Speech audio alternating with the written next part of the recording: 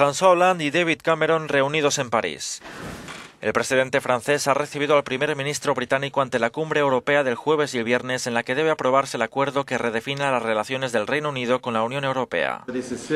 Cameron espera que los 28 miembros del bloque comunitario aprueben el plan de reformas favorable para el Reino Unido para defender la permanencia en la UE en un próximo referéndum, que convocaría el próximo junio en vez de en 2017. El líder Tory quiere cambios en cuatro puntos, el mercado único, la inmigración de los ciudadanos comunitarios, la competitividad y la integración europea.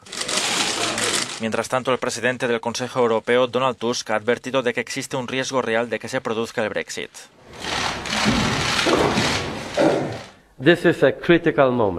Este es un momento crítico.